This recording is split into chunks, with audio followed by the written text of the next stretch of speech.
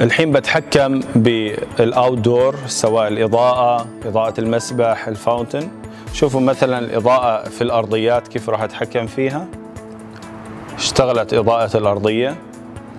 إضاءة ال landscape الشجر نفس الشيء. في كل الجهة اشتغلت ال landscape الحين بشغل نظام الصوت في ال swimming pool دخلت على ال swimming pool اختار ال music وأشغل النظام. فبتشتغل ال outdoor speakers في المكان.